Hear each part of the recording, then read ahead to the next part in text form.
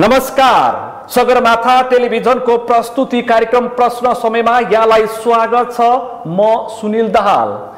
यतिखेर एउटा विषय निकै पेसिलो ढङ्गले सडकमा पनि देखिएको छ र विषय सदनमा पनि उठ उठेको छ। विषय कसर व्यवसायीसँग सम्बन्धित छ र चुरेसँग पनि यो विषय जोडिन पुगेको छ। मुलुकको समृद्धि अहिलेको आवश्यकता हो। र मुलुकको समृद्धिको लागि भौतिक संरचना निर्माण गर्नुपर्छ। भौतिक संरचना निर्माण गर्नको लागि प्राकृतिक स्रोतसँग पनि जोडिन्छ। गिटी बालुवा र ढुङ्गा नभइकन भौतिक संरचना बन्न सक्दैन। तर यो विषय सधैँ नै विवादको विषय बन्ने गर्छ र एक थरी मान्छेले आशंकाको विषय पनि बनाउने गरेका छन्। क्रसर उद्योगसँग सञ्चालित खानीसँग सञ्चालित यी विषय राज्यको महत्त्वपूर्ण विषय हो र अति अपरिहार्य वस्तु पनि हो। तर यो विषयलाई किन सधैँ विवादको विषय बनाइन्छ? आज हामी विशेष गरी यो चुरो कुरोमा केन्द्रित रहेर छलफल गर्दैछौँ किनकि यो विषय चुरे संरक्षणसँग पनि जोडिने गर्छ र राज्यका संयन्त्रहरूसँग पनि जोडिने गर्छ। योसँग सम्बन्धित निर्माणसँग सम्बन्धित विधेयकहरू समितिमा छलफलमा छन् तर यसले निष्कर्ष पाउन सकिरहेको छैन र कानुनको विषय बन्न सकेको छैन यानि कि कानुन बन्न सकेको छैन। ए बिचमा क्रसर व्यवसायी र खाने व्यवसायीहरू सडकमा उत्रिएका छन् किनकि नवीकरण हुन सकेको छैन काम गर्न अप्ठ्यारो भयो व्यवसाय धरापमा पर्न गयो भनेर उनीहरू सडकमा उत्रिएका छन् र पूर्व मन्त्रीहरू पनि सडकमै पुगेर प्रतिबद्धता पनि व्यक्त गरिएका छन् तर विषय टुङ्गिएको छैन। आज हामी यही विषयमा गम्भीरताका साथ छलफल गर्ने प्रयासमा रहेका छौँ। यो सबैको चासोको विषय बनेको छ किनकि सडक बनेन भने पुल बनेन भने भवन बनेन भने नबन्नुको एउटा कारण यो पनि हुन गएको छ किनकि पर्याप्त निर्माण सामग्री नहुँदाखेरि यसरी भनेको समयमा निर्माण हुन सकेन भनेर व्यवसायले त्यो खालको आक्रोश पनि व्यक्त गर्छन् र पन्छिने मौका पनि पाउँछन्। यो विषय सिमेन्ट र अन्य विषयसँग पनि जोडिने गर्छ। सिमेन्ट बन्नको लागि यी वस्तुहरूको पनि खाँचो पर्छ। त्यसकारण आज हामी गम्भीरताका साथ यो विषयलाई केन्द्रमा राखेर छलफल गर्दैछौँ। आजको यो छलफलमा मसँग सहभागी हुनुहुन्छ उद्योग वाणिज्य तथा श्रम उपभोक्ता समितिका सभापति पूर्व मन्त्री अब्दुल खान। यहाँलाई स्वागत छ। धन्यवाद। त्यसै गरी आजको यो छलफलमा मसँग सहभागी हुन्छ राष्ट्रपति चुरे तराई मधेस संरक्षण विकास समितिका अध्यक्ष डाक्टर किरण पौडेल। यहाँलाई पनि स्वागत छ। त्यसै गरी आजको यो छलफलमा मसँग सहभागी हुन्छ नेपाल क्रसर तथा खाने उद्योग महासङ्घका अध्यक्ष सीताराम नेउपाने। यहाँलाई पनि स्वागत छ। यहाँहरू तिनैजनालाई म स्वागत गर्छु। आम मानिसको चासोको विषय छ र धेरैले यसलाई गम्भीरताका साथ पनि हेर्छन्। मन्त्रीज्यू म तपाईँबाट यो कार्यक्रम प्रारम्भ गर्छु यो विषय अति आवश्यक पनि हो। क्रसर पनि चाहिन्छ खाने पनि चाहिन्छ ढुङ्गा गिटी बालुवा पनि चाहिन्छ मुलुकलाई समृद्धि पनि बनाउनु परेको छ र हामीलाई छिटोभन्दा छिटो यो समृद्धि हामी खोज्नेहरूलाई सुरुङ पुल पनि चाहिएको छ सुरुङ पनि चाहिएको छ आकाशे पुल पनि चाहिएको छ त्योसँगै ठुल्ठुला भवन पनि चाहिएको छ। तर त्योसँग जोडेको कच्चा पदार्थ चाहिँ सधैँ विवादमा आउँछ। यसो खास चुरो कुरो के हो? तपाईँले के बुझ्नु भएको छ? म छलफल यहाँबाट प्रारम्भ गर्छु त्यसपछि खास खास विषयमा प्रवेश गर्छु। सर्वप्रथम प्रश्नको लागि धेरै धेरै धन्यवाद। वास्तवमा हाम्रो देशभित्र भएका कच्चा पदार्थहरूलाई प्रयोगमा ल्याएर हामीले मुलुकलाई समृद्धितिर लान सक्छौँ। यही यसैलाई जोडेर सरकारले पनि आयातलाई प्रतिस्थापन गर्ने निर्यातलाई प्रवर्धन गर्ने जस्ता विभिन्न खालको नाराहरू समय समयमा दिएको रहेछ। तर दुर्भाग्यवशमा यो समितिमा आइसकेपछि सभापति को हैसियतमा भइसकेपछि म हेर्दैछु सीताराम नेउपानेजी लगायतका साथीहरू जुन हाम्रै देशभित्रका कच्चा पदार्थहरूलाई प्रशोधन गरेर विभिन्न काममा चाहिँ प्रयोग गर्नुहुन्छ उहाँहरू सधैँ चाहिँ धाइराख्नुहुन्छ। कहिले यो मन्त्रालय कहिले त्यो मन्त्रालय हाम्रो समितिमा पनि उहाँहरू पटक पटक आउनुभयो समितिमा आइसकेपछि मैले अब समितिको जुन एउटा क्राइटेरिया छ जिम्मेवारी छ समितिले उहाँहरूलाई समेत बोलाएर मन्त्रालय सम्बन्धित मन्त्रालय र मन्त्रीज्यू कर्मचारी साथीहरू सबैजनाले बोलाएर छलफल गरेर यो सम्बन्धी ऐन कानुन अपर्याप्त छ ऐन कानुन ल्याउनुपर्छ भन्ने निर्देशन दिएर अहिले त्यो निर्माणमुखी विधेयक पनि सदनबाट समितिमा आइसकेको छ राज्य व्यवस्था समितिमा मतलब यो समस्यालाई समाधान गर्न सकिँदैन भन्ने छैन तर यसमा के छ सबै पार्टी नेता र ठुला ठुला नेता पार्टी सञ्चालन पार्टी नेता र ठुला ठुला नेता। ठुला ठुला नेता। अनि ब्युरोक्रेसी अनि बिचौलिया। ब्युरोक्रेसी बिचौलिया भनेको त सेकेन्ड पार्ट हो। प्रथम पार्ट भनेको त यसका नेता र नेतृत्व नै पर्छन्। यो देशका राजनीतिक नेतृत्व राजनीतिक पहुँचमा बसेका मान्छेहरू। एकदम। एकदम उहाँहरूले यस विषयमा वास्तवमै निकास दिन चाहिराख्नु भएको छैन। के हो तपाईँले बुझेको के हो खास भन्नुहोस् त तपाईँलाई लेना देना छैन यो म विषयमा। म त्यही कुरा। गर्दैछु। यदि निकास दिन चाहेको भए सायद मलाई लाग्छ यतिसम्मको सकस हुन्थेन। किनभने म आफै क्याबिनेटमा हुँदाखेरि दुई हजार उनासी माघ एघार गते अहिलेकै मान्य रवि लामी छानेज्यू उतिखेर पनि गृहमन्त्रीजी हुनुहुन्थ्यो। उहाँले नै एउटा प्रस्ताव लानु उहाँको भएको पहिलो निर्णय थियो। क्रसर व्यवसायसँग क्रसर सम्बन्धित व्यवसायसँग। सम्बन्धित भने उतिखेर क्याबिनेटले जुन डिसिजन गर्यो मन्त्री परिषदले निर्णय गर्यो त्यो समेत अहिलेसम्म कार्यान्वयन नहुनु एकदम लज्जाको विषय हो। यसमा हामीहरूले झन् यो कुरा बोल्दाखेरि झन् आफैलाई नै लज्जाबोध भइरहेको छ वास्तवमा। तर यो के कारणले भएन जुन तपाईँको प्रश्न छ वास्तवमा यसमा केही नेता र केही नेतृत्व र तिनका सम्बन्ध ब्युरोक्रेसीका केही साथीहरू लागेर वास्तवमा यसलाई निकास दिन चाहिँ लागिराख्नु भएको छैन। यो कमिसन कि यो समस्या यिनीहरूको लगानी छ या तिनीहरूले कमिसन पाउँछन् म भन्दैछु। यो समस्याहरू सधैँ बनिरहोस् होइन? यो समस्याबाट मुक्ति नहोस्। सधैँ हामी कहाँ चाहिँ उहाँहरूले धाइराखुन्? धाउँदा धाउँदै कुनै दिन कुनै न कुनै बार्गेनिङ पनि हुन्छ। लेनदेनको कुरा पनि आउँछ। एकदम मजाले आउँछ त्यो कुनै लुके छुकेको कुरा छैन। सेक्रेट हो सबैलाई थाहा एउटा कुरा यो भयो। अर्को कुरा के छ भने करसर व्यवसायी साथीहरू सबै ठिक छन् पनि भन्न सकिँदैन। हेर्नुहोस् होइन? विभिन्न किसिमका अराजकताहरू जिल्लाहरूमा विभिन्न प्रकारका सिडिओ साहबलाई लिएर समेत त्यहाँका स्थानीय सरकारका प्रतिनिधिलाई लिएर समेत उहाँहरूले मनोमानी ढङ्गले पनि काम गर्दै हुनुहुन्छ। त्यसबाट तपाईँलाई पत्तो छ। त्यो एकदम एकदम निर्वाह। व्यवसायी पनि क्रसर व्यवसायी पनि खाने व्यवसायी पनि सिस्टममा हिँड्न चाहिरहेका सबैजना छैन। मौका परे छिटै कमाउने दाउमा उहाँहरू पनि हुनुहुन्छ। एकदम एकदम। उहाँहरू त यतिसम्म कि लस्करका लस्कर डनहरू पनि पालेका हुन्छन् वातावरणदेखि लिएर अनेकौँ समस्याहरू उहाँहरूबाट पनि सिर्जित हुन्छ। होइन? त्यसकारण यसलाई व्यवस्थित गर्नु वास्तवमा अहिलेको आवश्यकता हो। र त्यस्ता उद्योगहरूलाई आफ्नै देशभित्र उद्योगी व्यवसायहरूलाई यसरी पिर मर्का र यसरी सडकमै आउने खालको वातावरण चाहिँ सिर्जना नहुनुपर्ने। होइन दुर्भाग्यवश यो भइ नै सकेछ भने अब पनि समय छ। यसलाई निकासमा ल्याउनु पर्छ। त्यसैलाई मध्यनजर गरेर मैले पनि सदनमा यो विषयमा सदनमा पनि बोलेको छु र तपाईँले सदनमा पनि बोल्नुभयो सडकमा पनि सडकमा पनि मैले आएर यो छागते नै अस्ति छागते मैले सडकमा आएर पनि प्रतिबद्धता जाहेर गरेको छु। र अझै पनि मेरो समितिको र मेरो Senhor. व्यक्तिगत पनि र समितिको मार्फत अझै उहाँहरूको कुनै पनि समस्यामाथि छलफल गराएर छिटोभन्दा छिटो। सम्बन्धित निकायलाई निर्देशन गर्नु पर्यो भने म अझै गर्न तयार छु। तर समितिले गर्नुपर्ने काम उहाँहरूको विषयमा सायद मलाई लाग्छ गरि नै सकेको छ। हिजो पनि तपाईँले हेर्नुभयो होला समाचार यो खानी सम्बन्धी पनि मैले त्यो विषयमा पनि मन्त्रालयलाई एउटा निर्देशन दिएकै छु होइन। त्यो विषयमा कानुन ल्याउनको निम्ति र अहिले केही खानी व्यवसायहरू जुन अहिले समस्यामा छन् उहाँहरूलाई थप छ महिनाको म्याद अ, समेतको कुरा गरेको छु। पनि यो समग्रमा हेर्दाखेरि सरकारले चाहेपछि त समस्या समाधान हुन्छ नै तर अहिले वास्तवमा देखाएको छैन।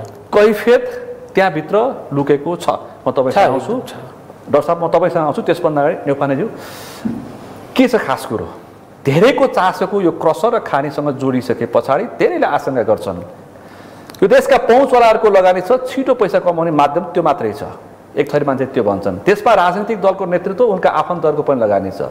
ब्युरोक्रेसीको पनि छ अथवा पुलिस प्रशासन र यो देशका न्यायाधीशदेखि यो देशका आर्मी अफिसरको समेत लगानी छ भन्ने हामी सुन्छौँ। आज खुलासा गर्नुहोस् त लगानी के छ समस्या के हो किन नवीकरण हुँदैन? यो तिनटै जवाफ तपाईँले दिनुपर्छ। यस्तो छ सर। हामीले सर्वप्रथम त लागि धन्यवाद। अब यसमा के छ भन्दाखेरि हामी नागरिकले पेसा गरेर खान पाउनुपर्छ हाम्रो प्रमुख माग यो हो। राज्यको विधि र विधानबाट पनि हामीले व्यवसाय सञ्चालन गर्नुपर्छ यो पनि हाम्रो माग हो। माने? यो माग हुँदाहुँदै पर्दा पछाडि बसेर देशको सिस्टम राम्रो हुने हो भने पर्दा पछाडि बसेर कसैले पनि काम गर्न चाहँदैन। त्यो पनि माने? यो देशको प्रधानमन्त्री रिटायर भइसकेपछि उहाँले पनि एउटा पेसा गरेर खानुपर्छ। त्यो किसिमको राज्यले निर्माण गर्ने सिस्टम चाहिँ बन्नुपर्छ भन्ने किसिमको हाम्रो माग अब यहाँनिर अर्को प्रश्न जोड्यो। तपाईँहरू व्यवसाय कि तस्कर? हामी व्यवसाय हो। हामी राष्ट्र निर्माण गर्ने यो यो देशको मेरुदण्डको रूपमा रहेको व्यवसाय हो हामी। तर एउटा भाषिक स्थापित भएको छ भने क्रसर व्यवसायी हजुर। र खाने उद्योग खाने व्यवसाय चाहिँ मान्छेले के भन्छन्? एक थरी मान्छेलाई त्यो भाषा स्थापित गर्ने प्रयास भएको छ तस्करी भन्छन्। यसो भयो। अहिले सभापतिज्यूले भने जस्तै अँ। तपाईँको जुन बिथिति छाडापन बनाउनको निम्ति अब यो देशका सल्लाहकारहरू शासन चलाउने सरकारमा सरकार चलाउने सल्लाहकारहरू गलत भयो। ढुङ्गा गिटी बालुवा तस्करी हो तपाईँहरू होइन कसरी तस्करी हुन्छ सर? कसरी तस्करी हुन्छ? पहिलो कुरो त म यहाँ प्रश्न के पार्न चाहन्छु भने। नदीजन्य पदार्थ र खानेजन्य पदार्थ क्रसरवालाले उत्खनन गर्ने पनि होइन सङ्कलन गर्ने पनि होइन यहाँनिर क्लियर हुनु पर्यो त्यो गाउँपालिका नगरपालिकालाई स्थानीय तहलाई त्यो चिज जिम्मा लगाएको छ। ठेक्का लगाउने जिम्मा उनीहरूलाई छ। जिम्मा लगाएको छ। उहाँहरूले विधि प्रक्रिया पुरा गरेर ठेक्का लगाउनुहुन्छ। ठेक्का लगाएर तेस्रो पक्षबाट हामीले किन्छौँ। त्यो सामान निर्माण व्यवसायले किन्छन्। त्यो सामान आम पब्लिकहरूले आम उपभोक्ताहरूले त्यो सामान किनेको हुन्छ भने अब जस्तै मान्नुहोस् निर्माण सामग्री बिना नागरिकको घर पनि बन्दैन। देशको भौतिक संरचना पनि बन्दैन पुल पनि बन्दैन सडक पनि मार्ग बन्छ न पुल बन्छ। बन्छ। भनेपछि यस्तो चिजलाई सरकारले जुन चाहिँ एउटा एउटा समस्याको घेराभित्र राखेको छ भनेपछि सरकारको तहले सरकारको तहले नै यो चाहिँ अनियमित किसिमको गर्नको निम्ति यी विभिन्न किसिमका मापदण्डहरू लिएर आएर यसलाई समस्या बनायो यदि त्यो किसिमको सरकारको तहबाट यो किसिमको एउटा चाहिँ खेल एउटा रणनीति काम नहुने हो भने। यो चिज तपाईँको हामीलाई लगाएको मापदण्ड। हामीलाई जस्तै चालिस सालदेखि एकहत्तर सालसम्म उद्योगहरू दर्ता भए हो। साबीको कानुन अनुसार दर्ता भए बहत्तर सालमा सरकारले मापदण्ड लिएर आयो। मापदण्ड लिएर आइसकेपछि त्यो मापदण्ड एउटा म आधार बताउँछु त्यो मापदण्डमा कुनै वैज्ञानिक आधार छैन कुनै प्राविधिक आधार पनि छैन नेपालको भूगोलको अवस्था नबुझेको यहाँ ब्युरोक्रेस पनि छैनन् यहाँ पोलिटिसियनहरू पनि छैनन्। भनेपछि त्यो कुन ढङ्गले त्यो मापदण्ड प्रस्ताव गर्ने मान्छे कस्तो किसिमको सल्लाहकार होला कस्तो किसिमको विज्ञ होला अनि त्यो स्वीकृत भन्दा पनि नजानी रहेछ त्यो? होइन त्यो स्वीकृत गर्ने मान्छे कस्तो होला? जस्तै मान्नुहोस् मैले जान मैले जान्ने कुरा गरिनँ। मैले सिस्टम खोजेँ देशसँग मैले सिस्टम खोजेँ हो। मैले प्राप्त गर्ने कच्चा पदार्थ कसरी प्राप्त गर्ने त्यो राज्यले व्यवस्था गरोस्। त्यो किन भन्दाखेरि हामीले उत्खनन गर्ने होइन। मैले उद्योग चलाए बापत जुन प्रशोधनमूलक उद्योग चलाउँछु त्यसलाई मैले उद्योग चलाए बापत मैले के के गर्नुपर्ने? मापदण्डका कुराहरूमा मैले के के पालना गर्नुपर्ने? त्यसलाई चाहिँ धुलो धुवाँबाट कसरी मुक्त गर्नुपर्ने? त्यसबाट चाहिँ मैले उत्पादन वातावरण मैत्री कसरी बनाउनु पर्ने? कसरी बनाउनु पर्ने भन्ने किसिमको कुरो चाहिँ मेरो चाहिँ उद्योग राखेको ठाउँमा आइ प्रतिवेदनमा यी कुराहरू उल्लेखित हुन्छन्। अब मलाई दूरी सम्बन्धी मापदण्ड किन?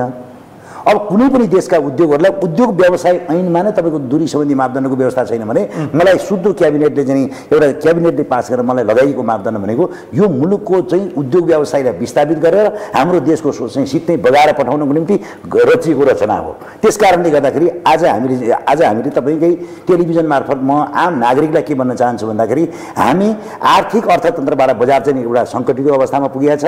हामी समृद्धिका कुरा गरिरहेका छौँ।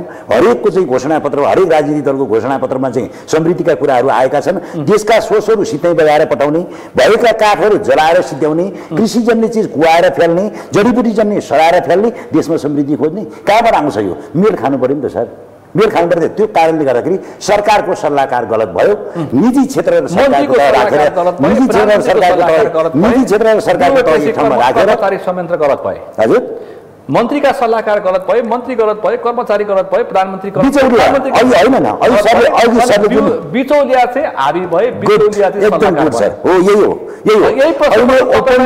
यही प्रश्न गर्यो भने तपाईँलाई चाहिँ यो मुलुकको नदी नाला दोहन गर्ने तस्कर हुन् भन्छन्। मलाई कसरी दोहोर्ने गर्ने? मलाई आरोप लगाएर चाहिँ शोषण आरोप लगाएर शोषण गरेर करप्सन भएको छ नि यहाँ। मैले भने तपाईँको चाहिँ सत्तर एकहत्तर सालको चाहिँ मापदण्ड हामीमाथि लगाइएको मापदण्ड। आजको दिनसम्म न संशोधन गरिन्छ न त्यो मापदण्ड अनुसार व्यवस्थापन गरेर तपाईँले उद्योग यहाँ लगाउनुहोस् भनेर भनिन्छ त्यसलाई चाहिँ तस्करको कम्पनी पनि कहीँ नबिकर हुन्छ भन्छन् त। होइन त्यसो भए बन्द गरौँ न त्यसो भए बन्द गरौँ नि त। यो देशमा क्रसर उद्योग चाहिँदैन यो देशको प्राकृतिक स्रोत हामीलाई चाहिँदैन।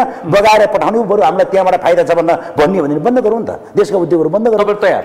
एकदम तयार। हामी एकदम तयार। के हामीलाई सिस्टम दिनु पर्यो सात सय उद्योग सात सय क्रसर उद्योग होला नि। खानीदेखि यो क्रसर लगायत झन्डै एक सय करोडभन्दा माथिको कारोबार होला।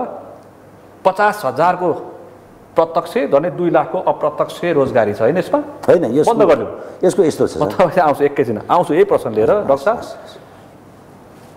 यो क्रसर उद्योगीहरूले चाहिँ चुरे सक्ने भयो हो।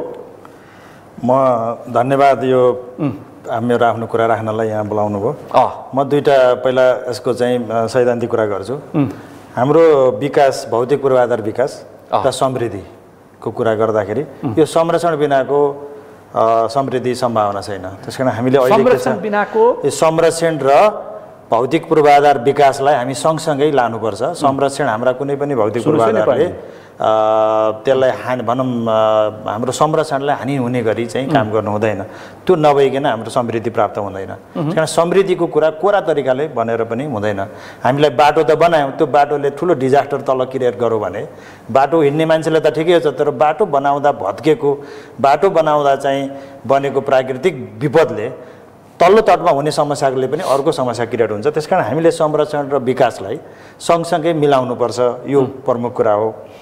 अब यहाँ यो चाहिँ क्रसर व्यवसायीहरूको म योभन्दा अगाडिको नि उहाँहरूसँग थुप्रै छलफलमा हाम्रो छलफलमा छु। तर के छ भने यसमा मुख्य पक्ष भनेको नियत हो। हामी सबै यहाँ जो ज- यसमा छौँ नि कुरा ठुल्ठुलो गर्ने मञ्चमा ठुल्ठुलो कुरा गर्ने तर भित्र नियत अर्कै राख्ने। त्यो चाहिँ मञ्चमा नैतिकता सिकाउने? भित्र गएर बेइमानी गर्ने। बेइमानी गर्ने प्रवृत्ति छ। म चाहिँ आफू व्यक्तिगत रूपमा के भन्नु भन्छु भने कुनै पनि उद्योगीले नेपालको कानुनअनुसार उद्योग स्वतन्त्र रूपमा गर्न पाउनुपर्छ। उसले कानुन अनुसार पाउने सुविधा नि पाउनुपर्छ। त्यो चाहिँ के दिने के नदिने कस्तो उद्योग सञ्चालन गर्न दिने नदिने त्यो सरकारका नियम कानुनले व्यवस्था गरे बमोजिम गर्न पाउनुपर्छ। जस्तै क्रसर उद्योग स्थापना गर्ने पनि। हाम्रो चाहिँ कानुनले व्यवस्था गरेको विषय हो। होइन उहाँहरूलाई अब उद्योग गर्न दिइसकेपछि उद्योगलाई चाहिने कच्चा पदार्थ नियम कानुन अनुसार दिनुपर्छ, उपलब्ध होइन? गराउनु पर्छ। दिनुपर्छ होइन? तर। के छ भने अघि नै कुरा भयो नि। माननीयज्यूले पनि कुरा राख्नुभयो कुरा चाहिँ गर्न सजिलो छ तर जहाँ जब जहाँ व्यवहारिक छ अब एकदम मसलवाला छ।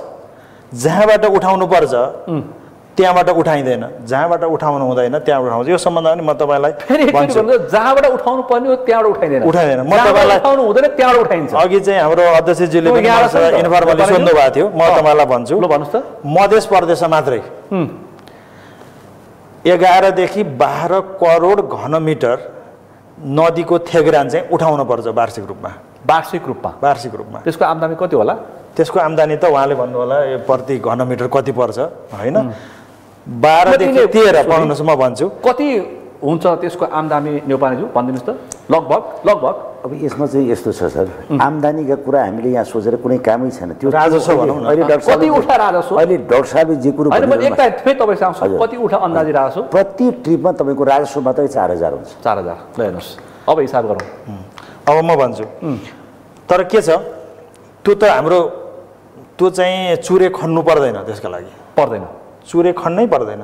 त्यो वार्षिक रूपमा हाम्रो चुरे पहाड त कस्ता छ भने एक सेन्टिमिटर वार्षिक रूपमा हावाले उडाएर पनि बगाए बगाउने छ क्या त्यो खस्छ त्यो बन्छ। किन ने त्यस्तो प्रकृति नि त्यस्तो छ। त्यसको कारणमा पछि कुरा गर्दा म गरौँला।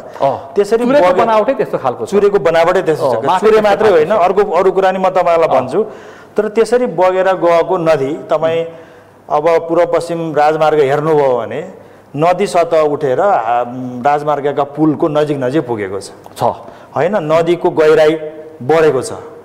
र नदीको चौडाइ बढेको छ। किन बढ्यो भने माथिबाट आगो थेग्रान त्यहाँ थिग्रिएको छ। त्यस कारण त्यो उठाउनुपर्छ। उठाउनको लागि पनि नेपाल सरकारले मापदण्ड बनाएको छ। त्यो मापदण्डको कार्यान्वयनमा राष्ट्रपति चुरे तराई मधेस संरक्षण विकास समितिलाई नि केही न केही भूमिका दिएको छ।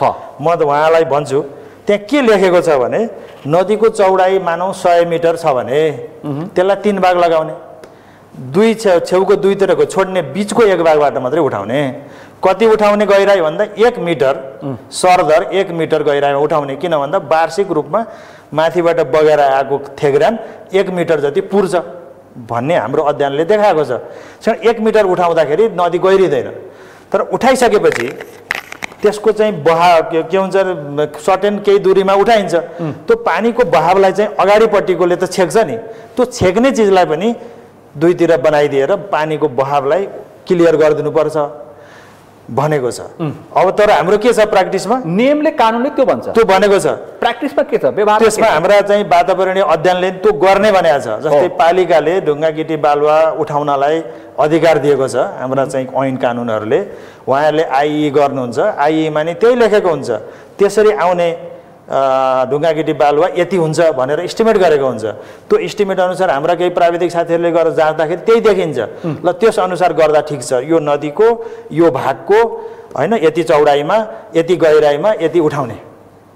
त्यति उठाएदेखि न चुरे हानि नोक्सानी हुन्छ न हामीलाई यो तर उठाउँदाखेरि हामीले समाचार बनाउनु पर्छ तर पर्दैन। उठाउ उठाउँदाखेरि के हुन्छ? एकै ठाउँमा हामीले चाहिँ बिस बिस फिट पनि खनेर उठाइएको छ। त्यो चाहिँ त्यसलाई ठेक्का लगाउनेको दायित्व हो त्यसलाई नियमअनुसार उठाउन लगाउने। त्यो नगरपालिका या गाउँपालिकाको त्यो दायित्व हो। नगरपालिका गाउँपालिकाको दायित्व हो। किन भन्दा यो ठेक्का लगाउने उहाँहरूले लगाउने हो। हामी न्यौपाने जीवलाई तस्कर भन्छौँ। तर धमाधम अख्तियारले चाहिँ गाउँपालिका अध्यक्ष र नगरपालिका अध्यक्षले हतकड लगाइरहेछ। त्यो किनभने बालुवा गिटी बालुवा र ढुङ्गाको कारणले। हो। म दृष्टान्त तपाईँले किनभने। उहाँहरूलाई त्यो कानुनी अधिकार जुन। ठेक्का लगाउने त्यो अधिकार पालिकालाई छ। तर आरोप हामी उहाँ उहाँलाई लगाउँछौँ। अब फेरि यस्तो छ म यहाँ जोड्छु। किन? सेटिङ नगरपालिकाले त आफ्नै त हुन्न फेरि नगरपालिकाले ठेक्का लगाउँछ नि। त्यो मध्येको कुनै एउटा ठेकेदार उहाँ सीतारामजी हुन सक्नुहुन्छ अथवा उहाँलाई मेटेरियल दिन सक्ने अर्को कोही मान्छे हुनसक्छ त्यसो भए उहाँ त्यसमा डाइरेक्टली नहुन पनि सक्नुहुन्छ। तर उहाँहरूको कमजोरी चाहिँ के छ ला यहीँ दिनुहोस् त। मैले त होइन उहाँको कमजोरी मैले खास देख्दिनँ किनभने उहाँले त आफ्नो उद्योगलाई कच्चा पदार्थ ल्याऊ मलाई पाउनुपर्छ भन्नुहुन्छ। होइन त्यो हिसाबले चाहिँ त्यो ठिक हो। तर कसरी उठाउनुहुन्छ म उहाँलाई भन्दैन है तर प्रकृतिलाई दोहोन गरेर उठाउनुहुन्छ कसरी उठाउनुहुन्छ? उहाँ कानुन सम्मत बसेर व्यावहारिक रूपमा उठाउनु हो त्यो व्यवहारिक उठाउनुहुन्छ भने उहाँलाई कुनै प्रब्लम छैन। अहिले के गरिरहनु भएको छ ल, उहाँ अब त्यो उहाँलाई सोधौँ। अब मेरो हिसाबमा चाहिँ त मेरो मैले देखेको है मैले भन्छु ल सीतारामजीलाई सोधौँ भन्नुहोस्। फेरि कुरा गरौँ। होइन। साहबले जुन कुरा गर्नुभयो एकदम। प्राविधिक कुरा तथ्यका आधारमा गरिएको कुरा त्यसमा चाहिँ नि उहाँले एकदम एकदम एकदम प्राविधिक हिसाबले कुरा गर्नुभएको छ आखिर हुनु तथ्यमै हुनुहुन्छ। होइन एकदम तथ्यमा हुनुहुन्छ। एकदम एकदम अहिले उहाँले भनेको कुरामा एकदम तथ्यमा हामीले यसरी गर्दाखेरि चाहिँ दिगो किसिमको व्यवस्थापन गर्न सकिन्छ भन्ने किसिमको कुरा उहाँको छ। तपाईँ अब सुन्नु सर म आउँदैछु। संयन्त्र जुन छ। आज दायित्व बोकेको संयन्त्र हामीले नागरिकहरूको घरमा सिंहदरबार पुर्याउनको निम्ति तिन तहको सरकार बनाएको हो। राइट। सङ्घ प्रदेश र स्थानीय सरकार राइट। मान्छौँ। आज हामी केन्द्रीय हाम्रो समस्या बोकेर कहाँ आउँदैछौँ केन्द्रीय सरकारकोमा आउँदैछौँ मेरो समस्या यहाँ हुँदै होइन। या मेरो समस्या चाहिँ अनैतिक ढङ्गले गलत किसिमले गलत मान्छेको सल्लाहको कारणले गर्दाखेरि मेरो समस्या केन्द्रीय सरकारसँग छ। मैले मागिराखेको छु मेरो समस्या स्थानीय सरकारमा हुनुपर्छ? यस्तो भयो नि। किन? म म किन आउनु पर्यो? म भन्दैछु यो तिन तहको सरकार किन बनाएको? तिन तहको सरकार बनाइसकेपछि मलाई केन्द्रमा झुन्डाउनु प- झुन्डाउने किसिमको कुरो भने त यहाँ त गलत कुरा छ नि त। मेरो कुरो जब मेरो मैले प्रयोग गर्ने स्रोत स्थानीय तहले परिचालन गर्छ। हो। म उत्पादन गरेर प्रशोधन गरे बापत स्थानीय स्रोत साधन स्थानीय सरकारको अधिकार सरकारको अधिकार मेरो टचै छैन यहाँ। मेरो टचै छैन यहाँ। अनि तपाईँ सिमदारको मेरो। टचै छैन। अब मेरो केन्द्रीय सरकारलाई मेरो चाहिँ अनुरोध के भन्दाखेरि। केन्द्रीय पोलिसी बनाइदेऊ।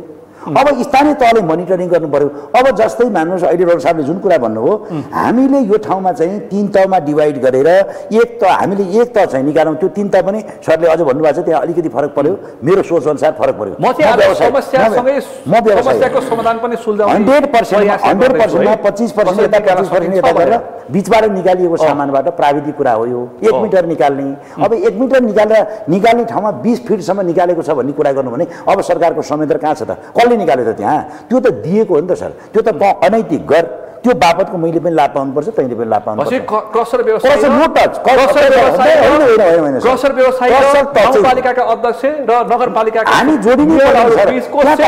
हामी त तेस्रो त हो। हामी त सम्भावना छ। हामी होइन मान्छेको ज्यान गइरहेछ। फेरि सर यसरी बुझौँ न। होइन। भौतिक संरचना राज्यको बजेट विनियोजन गरेको ठाउँमा भौतिक संरचना चाहिँ कसले बनाउँछ त? हामीले प्रशोधन गरेको मात्र सामान जाने होइन फिलिङको निम्ति गएको हुन्छ निर्माण व्यवसायले व्यापक रूपमा लिएको हुन्छ। लिएको हुन्छ। जस्तै आम उपभोक्ताहरूले व्यापक रूपमा लिएको हुन्छ। हामी त बिजेक जारी नगरिकन त एकटी पनि हामी सामान लिँदैनौँ नि त। त्यो चिज त हामीले खरिद गरेको विवरण हामीले प्रशोधन गरेर बिक्री गरेको विवरण प्रत्येक वर्ष आन्तरिक राजस्वलाई बुझाउनु पर्छ त दायित्व गाउँपालिकाको अध्यक्ष नगरपालिकाको मेयर र प्रशासकीय अधिकृत बिच तपाईँहरूको सेटिङ हुन्छ कि हुँदैन? हाम्रो किन सेटिङ हामी त त्यो पक्ष हामी त्यो तहमै छैन भने गाउँपालिका नगरपालिका तोकेको भन्दा बढी बोकेर हिँड्ने। पछाडिको ठेकेदार। भन्दा तोकेको भन्दा बढी बोक्ने तपाईँहरूको जुन छ नि क्रसर व्यवसायहरूको दाउ त्यसमा हो बेइमानी भनेर आशंका व्यक्त होइन न उहाँले आशंका होइन उहाँले आशंका व्यक्त गर्नुभएको छैन। यसरी नभन उहाँले उहाँले के भन्नुभएको छ भने प्राविधिक हिसाबले निकाल्ने र जसले निकाल्छ त्यसले चाहिँ जिम्मेवारी लिने भन्नु भन्- भन्नुभएको छ। त्यो जिम्मेवारी लिने भनेको स्थानीय तहले सारा प्रक्रियाहरू पुरा गर्छ। अब ठेकदारलाई लगाएको हुन्छ। त्यो ठेकदारले कसलाई बेच्छ भन्ने किसिमको कुरो त त्यो स्थानीय तहले मोनिटरिङ गर्नु पऱ्यो नि। अब हामी कहाँ आएको चिजको त खरिद र बिक्रीको विवरण हामी त प्रत्येक वर्ष बुझाउँछ भने हामीसँग त काहीँ कुनै ठाउँमा छिप्ने ठाउँै छैन। हामीलाई नदीको नदीको उत्खननको विषय हामीसँग जोड्नु भनेको हामीलाई दोष लगाएर एउटा करप्सन गरिरहने मान्छेले फाइदा लियो होला। त्यो? अब त्यो सरकारले जाने कुरा? त्यो सरकारले जाने कुन- तहको सरकारले जाने कुरा सर मैले जाने उसको संयन्त्र के हो? भनिदिनुहोस् न आज। कहाँ कहाँ मोनिटरिङ गर्नुपर्ने हो। मान्नुहोस् न तिन तहको सरकार मध्येमा कुनै पनि मिलिजुली हो केन्द्रका मन्त्री सचिवदेखि लिएर सांसदसम्म प्रदेशका मन्त्रीदेखि सांसदसम्म एउटा तहका मेयरदेखि अध्यक्षदेखि प्रशासकीय अधिकृत सबैले झम पारेका छन्। हामीले अहिले तोकेर भन्न सक्दैनौँ। यसलाई अख्तियारको पनि होला। समन्वय समिति आफै नेता हो तपाईँको व्यवसायमा फरक पर्दैन। खुलासा गर्नु दया हुन्छ। सर समन्वय समितिलाई सोध्नुहोस् न। म मेरो त त्यो कुनै हातै छैन। मैले भनिसकेँ त। मैले स्थानीय तहबाट कति बुझाउनुपर्छ कमिसन? प्रति हामीसँग कमिसन होइन। हामी प्रत्येक टिपमा। चार हजार रुपियाँ हामी चाहिँ नि राजस्व तिर्छौँ राजस्वभन्दा बाहेक कमिसन कति बुझाउनु पर्छ राजस्व राजस्वभन्दा बाहेकको कमिसन भने त मसँग। होइन मसँग। आशंका छ मसँग आक्षेप लाग्छ ठेकदारसँग। कुरा हो त्यो सर मसँग? छैन म त तेस्रो तहको खरिदकर्ता हो म त कन्ज्युमर हो एउटा म। उद्योग भएको कारणले गर्दाखेरि मैले धेरै खरिद गर्छु मैले के भने भन्दाखेरि मुलुकको समृद्धिसँग जोडिएको गिटी बालुवा ढुङ्गा जस्ता होइन कच्चा पदार्थको लागि दर्ता भएका उद्योगहरूको नवीकरण गर्नुपर्छ। बस। मैले हो। सामान्य प्रशासन मन्त्रीलाई पनि दिउँसो फोन गरेर भनेको थिएँ। हजुर। समस्या छ त्यहाँ कैफियत छ त्यहाँ भन्नुभयो उहाँले। राज्य व्यवस्था समितिको सभापति रामरी खतिवडाले पनि भने कैफियत छ कानुन बन्दैछ भन्नुभयो। कैफियत चाहिँ के हो? भनेर खुलासा भएको छैन क्या उहाँले भन्नु पऱ्यो नि त। कैफियत त उहाँले भन्नु पऱ्यो नि त। सरकारी आफै सूचनाको पहुँच राख्ने मान्छे हो तपाईँ पनि भन्नुहोस्। यसो छ सर। हामीसँग कैफियत छैन। हामीले कानुनसम्म दर्ता गरेका छैनौँ भने कैफियत छ। कानुनको विधि अनुसार हामी चाहिँ त्यो प्रक्रिया अनुसारले हामीले सामान बिक्री गरेका छैनौँ हामीसँग भ्यालु बिल काटिएको छैन भने त्यहाँ कैफियत छ। तपाईँले गिट्टीवाला ढुङ्गा दिनु भएन दिनु भएन भने काठमाडौँको सडक पिच हुँदैन। कागजपत्र हुँदैन सरकारले होइन सरकारले त के यसलाई व्यवस्थापन गर्नु पर्यो? डाक्टर साहबले भनेको जस्तो गरी सोच परिचालन गर्नु पर्यो। जस्तै सभापतिज्यूले भने जस्तै गरी उद्योगको व्यवस्थापन गर्नु पर्यो। उद्योगको व्यवस्थापन गर्नु पर्यो। आज चाहिँ हाम्रो तालिक मन्त्रालय उद्योग मन्त्रालय छ।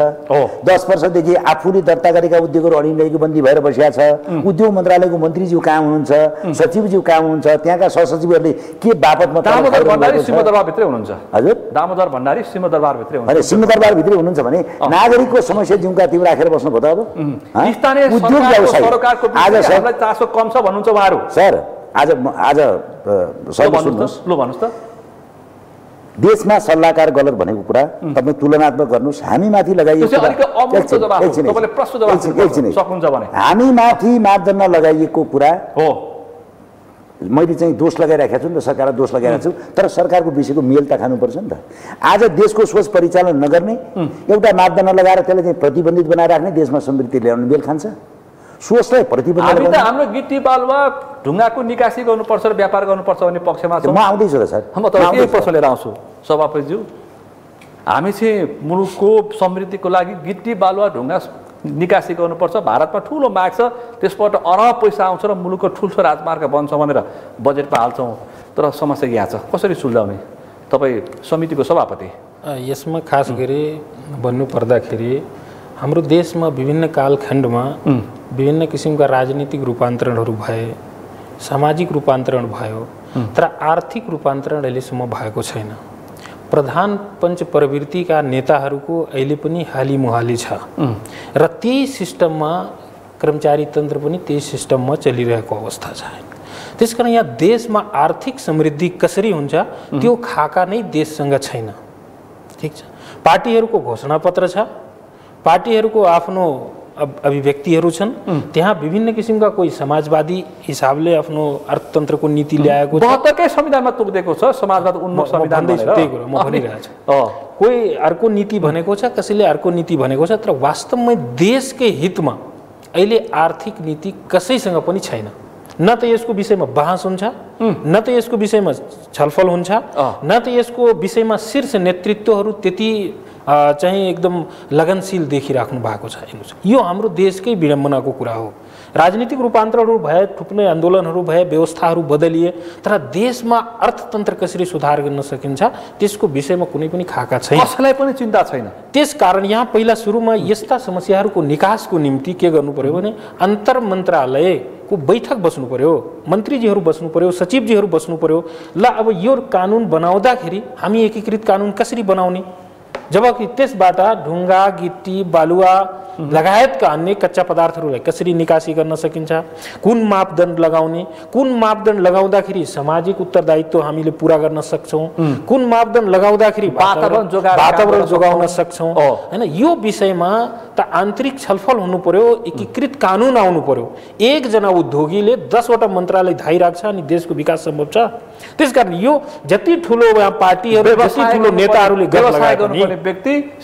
स्थानीय सरकार प्रदेश सरकार हुँदै सिंहदरबारको गेटको नजिक आइपुगिसकेको छ। एकदम त्यो त देखिरहे सिंहदरबार मात्र अहिले त रोडमा आइसक्यो। रोडमा आउनु भएको छ। उहाँहरू मात्र होइन। ढुङ्गा दिनु भएन भने अहिले ढुङ्गा बालुवावाला साथीहरू। मात्र होइनन् हो।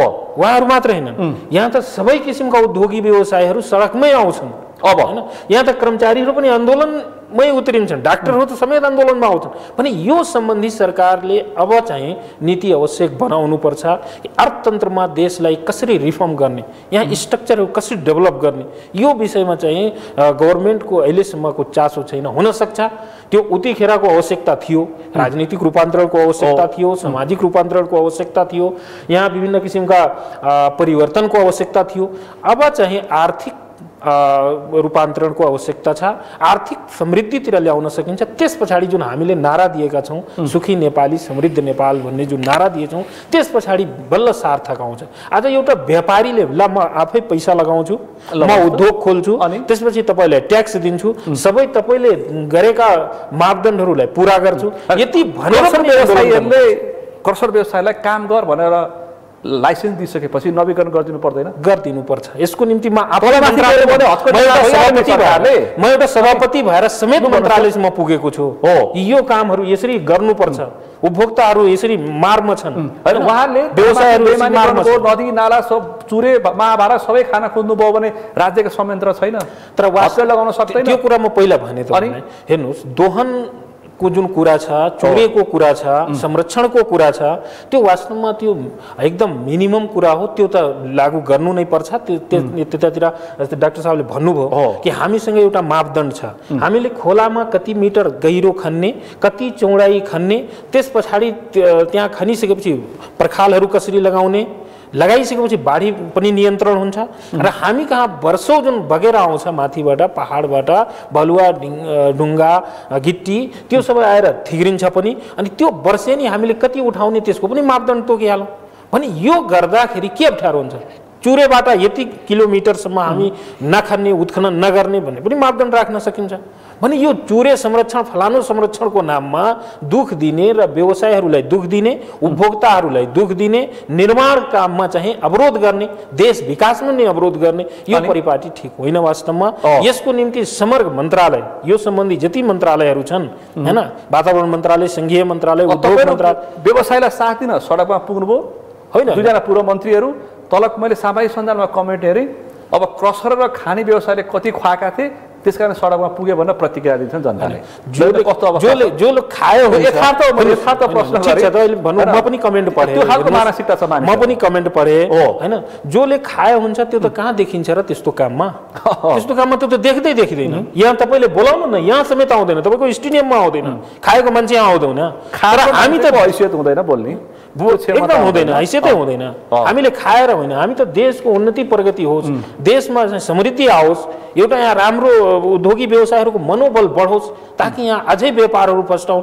अहिले हेर्नु त समस्या बेरोजगारीको समस्या। भोलि गएर यही क्रसर उद्योगहरू नै सबै बन्द भइदियो भने मानौ एउटा इक्जाम्पलको रूपमा बन्द भइदियो भने कति बेरोजगारी सिर्जना हुन्छ कति समस्या पर्छ। हामीले जति बजेट भौतिक पूर्वाधार मन्त्रालयमा बजेट छुट्याए पनि ठुला ठुला पुलको लागि बजेट छुट्याए पनि भोलि के हुन्छ हालत हाम्रो? ढुङ्गा नै पाउँदैन गिट्टी नै पाउँदैन। पुगिसक्नु भएको छ। त्यसकारण उहाँहरूको माग। जायज हो। माग जायज। म रोडमै गएर भनेको छु यो माग जायज हो। यसको निम्ति निरन्तर आन्दोलनमा आउनु पर्यो भने म आउँछु।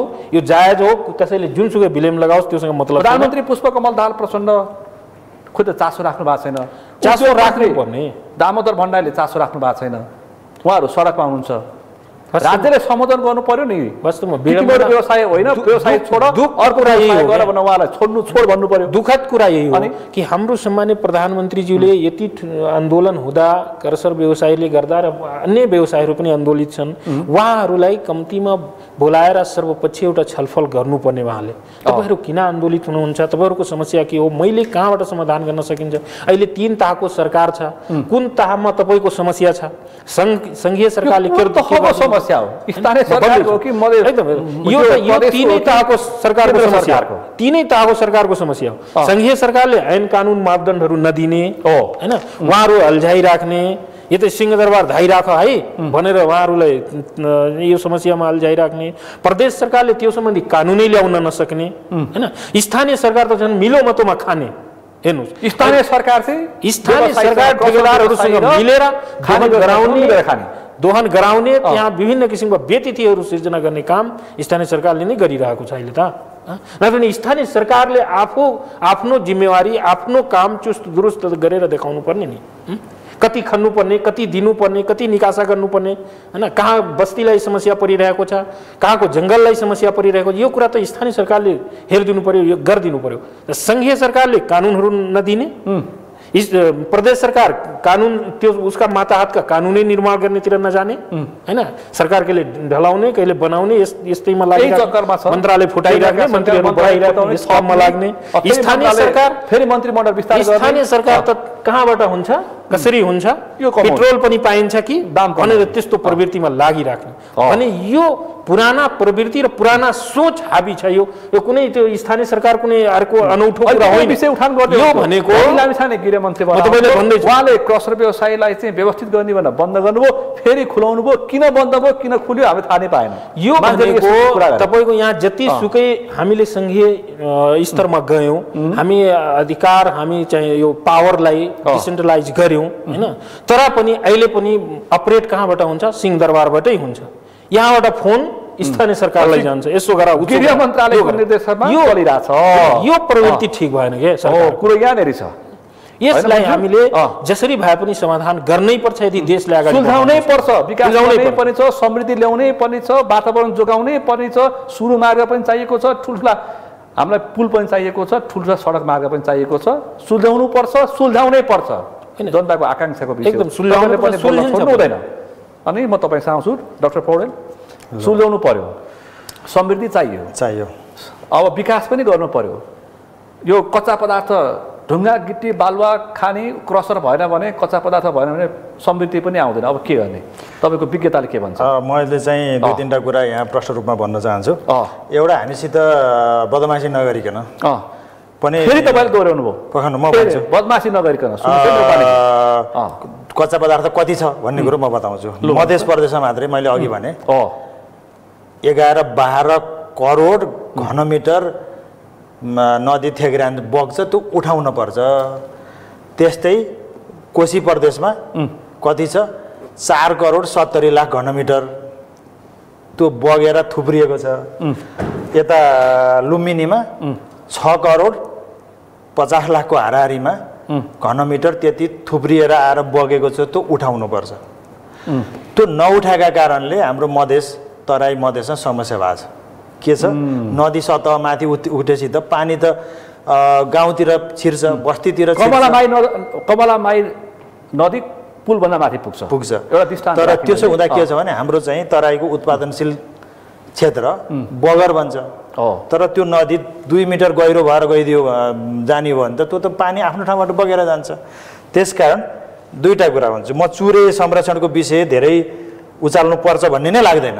किन भन्दा चुरेमा न कस क्रसर उद्योग खोल्न पाइन्छ न चुरे खनेर त्यहाँ ल्याउने हो। न चुरेको गिटी बल्ल चोरा पाइन्छ। चोर्न पाइन्छ त्यस कारण त स्टिकली त्यो गर्न पाइन्न। उहाँहरूको चाहिँ कुरा पनि चुरे खनेर गरौँ भन्ने चाहिँ होइन। मलाई त्यस्तो त्यस्तो प्रयासै भएको छैन राजनीतिक दबाव र प्रभावमा। म भन्छु तपाईँ। चुरे चोरी कहाँ भएको छैन। तपाईँलाई म त्यही कुरामा आउँछु। त्यस कारण हामीसित सम चिज छ। चिजमा हाम्रो समस्या के छ भने नियत। नै सफा नभएको हुनाले जो जो चाहिँ त्यो विषयसँग सम्बन्धित हुनुहुन्छ त्यो एउटा। र कस कति चाहिँ राम्रो काम पनि गर्ने साहस नभएको भन्छु म। जस्तै पालिकाले। रोक्न कहिले चाहिँ आफूले दिएको चाहिँ भनौँ न पर्मिसन छ नि। त्यो अनुसार भयो कि भएन भएन अनि ट्याक्क त्यहाँ रोक्नु पऱ्यो नि। त्यो चाहिँ त्यसलाई चाहिँ मोनिटर गर्नु पऱ्यो उसले कति ट्रक उठाएर लो कति एक दिनमा कति लयो अर्को दिन कति लो त्यसको चाहिँ सबै डाटा राखेर कन्ट्रोल गर्ने भने त कन्ट्रोल हुन्छ। कन्ट्रोल गर्न चाहँदाखेरि नहुने होइन। त्यसमा हामीलाई प्रशासनको जरुरी होला। साथ सहयोग। तर ठाउँ ठाउँमा के छ भने यो अब तपाईँलाई यो किन यस्तो भइरहेछ त? छ पद त्यहाँ उठाउन पर्ने पनि छ उठेको छैन उठाउन नपर्ने छ त्यहाँ उठेर गएको छ। माथि पनि समस्या छ भनिएको छ अहिले माननीयज्यूले नि भन्नुभयो समस्या छ हाम्रो चाहिँ मुख्य समस्या भोग्ने चाहिँ यहाँ सीताराम हुनुहुन्छ उहाँले नि भनिराख्नु भएको छ। र मैले नि के भन्छु भने नदीको चाहिँ थिग्रिएको चिज उठाएर पर्छ। त चुरे संरक्षण बेटर हुन्थ्यो किन भन्दा नदीका त दुईतिर तटबन्ध बाँधिरहेको छौँ हामीले। वर्षै पछि माथि आएर थुप्रिन्छ। त्यो थुप्रिएको चिजलाई बाट पानी गाउँतिर बस्तीतिर खेतीयोग्य जमिनतिर जान्छ भने हामी तटबन्ध बाँध्छौँ तटबन्ध बाँध्दा करोडौँ करोड खर्च भएको छ। तर त्यो नदीको बिचबाट चाहिँ उठाएर लैदियो भने त पानी त बिचबाट जान्छ। त्यस कारण यो उठाउँदाखेरि संरक्षणलाई पनि फाइदाजनकै छ। तर समस्या के छ? तपाईँ चुरे राष्ट्रपति चुरे तराई मधेस यो संरक्षण समिति गठन हुँदा। जुन यत्र तत्र चाहिँ क्रसर थिए यत्र तत्रबाट उठाइएको थियो क्रसरलाई त कति गयो म भन्दिनँ सिधै सिधै भोरेर इन्डिया पनि जान्थ्यो भन्ने हामीले सुनेका छौँ। मान्छेको ज्यान गयो मान्छेको ज्यान गयो ज्यान होइन। अब। हाम्रो चाहिँ यो यो सबै चिज के थियो भने हाम्रो चाहिँ आन्तरिक गभर्नेन्सको कमजोरी भयो किन भन्दा हामीले चाहिँ क्षणिक रूपमा जसलाई जिम्मा लगायौँ त्यसले क्षणिक बेनिफिटका लागि काम गरिदियो। दीर्घकालीन यिनै उद्योग धन्दा मैले यसो गरेँ भने उद्योग धन्दालाई समस्या हुन्छ। उसले चाहिँ सामान मेटेरियल पाउँदैन। अनि यसले गर्दा भोलि अर्को पुस्तालाई समस्या हुन्छ। फेरि हाम्रो छिमेकीलाई मेरो छिमेकीलाई समस्या हुन्छ भन्ने चाहिँ सोचमा कमी छ। जे भए पनि हामीले प्रष्ट भन्नुपर्छ उत्खनन चाहिँ मा गर्दाखेरि बदमासी भएको छ नि। त्यसै मान्छेले कुरा त उठाउँदैन नि। यहाँ हामीले चाहिँ चुरेबाट चाहिँ उठाउँदा ठिक छ भनेर सहमति दिएर उहाँ पुग्दा नपुग्दै बदमासी भयो। यहाँ हानि नोक्सानी भयो ए ठुल्ठुला भनौँ एक्जाभेटर चाहिँ नदीमा छिरे। भन्ने अर्को निवेदन आउँछ। अनि खोलाभरि? खोलाभरि भन्छ। खोलाभरि। यता चाहिँ किन भेटेर दौडिन थाल्छ। भन्छ एकजनाले। दौडिन थाल्छ। उतापट्टि अर्कोले किन दिइस्? भन्ने यस्तो खालको छ। किनभने हाम्रो यो हाम्रो समाज पनि डिभाइडेड छ। पोलिटिकलाइज छ एउटाले पोलिटिकल भने खालि उहाँहरू पनि नदी नै छेकेर पार्टीको पोलिटिक्स भन्दैन जस्तै। उहाँको क्रसर र अर्को क्रसरको बिचमा प्रतिस्पर्धा छ छ। उहाँको मा आउने चिजले उठाउन खोज्यो भने त्यहाँ त बदमासी भएको छ है भनेर ठाम्रा जम्मै प्रशासन संयन्त्रलाई चुरेसम्मलाई फोन आउँछ भन्छ निवेदन आउँछ। निवेदन आइसकेपछि त के हो हेर्नु पर्यो हेर्दाखेरि यो खालको छ एकले अर्कालाई ब्लेम गर्ने वास्तविक समस्या भन्दा बाहिर बाहिरै हामी छल झगडा गर्ने यो व्यवसायी बिचको अस्वस्थ एकदम। प्रतिस्पर्धाले गर्दाखेरि छ। क्रसर व्यवसायी र खाने व्यवसाय भएको छ मैले अब क्रसर र खानेको कुरा मात्रै म भन्दिनँ। यो जो जो जहाँ सम्बन्धित छ। उठाउने नि उहाँको क्रसरले त उहाँ यो तोकिदिएको हुन्छ ढुङ्गा केटी बालुवा उठाएर लगेर उहाँ कहाँ बेच्ने हो हो। तर उहाँ कहाँ दसजनाले बेच्छ भने तिनी दसजनाको बिचमा प्रतिस्पर्धा छ उसले लान्छ कि मैले लान्छु भन्ने। त्यस कारण यो हुन्छ हो त्यहाँ। त्यस कारण हामीले त्यो चिजलाई कन्ट्रोल गर्नुपर्छ। उठाउन दिनुपर्छ उठाउनै पर्छ। तर उठाउँदाखेरि हामीले उनीहरूलाई नियमका अनुसार गर्न लगाउनु पर्छ गर्न नसकिन्न। तर नसकेका कारणले अनि संरक्षण कर्मीहरू ल बर्बाद भयो भन्ने कुरा के छ भने नियम कानुन अनुसार नभइदिएका कारणले हो। हामी तिन मि तिन एक मिटर उठायो भने ठाउँमा एकै मिटर उठाए कसैलाई समस्या हुँदैन। तर एक मिटर भने ठाउँमा पाँच मिटर खनेपछि त त्यहाँ समस्या हुन्छ। अनि त्यहाँ कुरो उठ्छ। त्यहाँ चाहिँ राज्यका संयन्त्रहरू चनाखो हुनु पर्यो नि त। जरुरी छ। अलिक त फाइदा खोजिहाल्छन् नि। जरुरी छ। अनि? मैले होइन उद्योगले आफ्नो उद्योगलाई चाहिँ चाहिने कच्चापत्ता पाउनुपर्छ। पाउनु उहाँले अलिकति चाहिँ जसरी हुन्छ ल यहाँ भन्न त सक्नुहुन्छ तर जसले चाहिँ कन्ट्रोल गर्ने हो त्यो इमान्दार हुनु पर्यो। हो जसले कन्ट्रोल गर्ने हो नियन्त्रण गर्ने हो नियम राख्ने हो त्यसले जसले सुरक्षा गर्नु त्यो सुरक्षामा लाग्नु पर्यो। हो त्यही हो समस्या। मलाई चाहिँ तपाईँ चुरे खनेर लान खोज्यो भने त म गएर रोक्छु यो हुँदैन रोक्छु प्रशासन लगाएर हुन्छ के गरेर हुन्छ म रोक्ने मेरो दायित्व। दल बल प्रयोग गरिहाल्नुहुन्छ। होइन मसित जे शक्ति छ त्यो प्रयोग गर्छु। मसित शक्तिहीन भन्यो भने भने नसकुला। तर म भएको राज्यका शक्तिलाई म चाहिँ प्रयोग गर्छु कि यो चुरे खनिएको छ यसलाई रोक्नु पर्यो। म त्यो अनुरोध गर्छु म म प्रयास गर्छु। त्यसकारण समस्या त्यो छ। मैले अब पालिकाले चाहिँ यदि चाहिँ ढुङ्गा गिटी बालुवा उठाउन स्थानीय सरकारको दायित्व लाइसेन्स दिने हो भने- स्थानीय सरकारको दायित्व र कमजोरी तपाईँ कहाँ देख्नुहुन्छ? म भन्छु। त्यो लाइसेन्स दिने हो भने लाइसेन्स दिनेको प्रथम दायित्व नियम कानुन अनुसार त्यसलाई चाहिँ गर्न लगाउने हो। गरेनन् भने लाइसेन्स रोक्ने हो खारेज गरिदियो तत्काल। तर यहाँ अर्को एउटा मेकानिजम छ त म तपाईँलाई भन्नुहोस्। जिल्ला समन्वय। समितिको संयोजक प्रमुखको अध्यक्षतामा जिल्ला अनुगमन समिति छ। यसरी ढुङ्गागिटी बालुवाको उत्खनन व्यवस्थापन र बिक्री वितरण सम्बन्धी विषयमा अनुगमन गर्न भनेर जिल्ला अनुगमन समिति छ। त्यो समितिमा जिल्ला समन्वय समितिको प्रमुख अध्यक्ष हुनुहुन्छ। जिल्ला प्रशासन जिल्लाका सबै कार्यालयका प्रमुखहरू सबै जसो अनि त्यसपछि त्यो सम्बन्धित पालिकाहरूले पनि त्यो समितिमा बसेर काम गर्नुपर्छ। त्यसकारण त यहाँनिर कुरा निस्क्यो अब।